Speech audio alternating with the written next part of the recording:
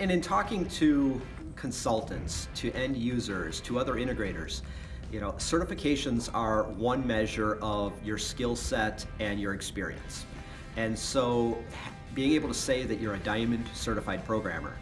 we find there's times where people don't even know what that means, but it gives us the opportunity to educate them, to talk them through the experience we've had over the years, and to help bring confidence that when they're working with either ourselves or our companies, that they're going to get a good product. They've got people who know the products working with them, and they can have confidence in the solution and the investment that they're making. And, and the investment they're making, because we've made the investment in time and understanding what we're delivering as well.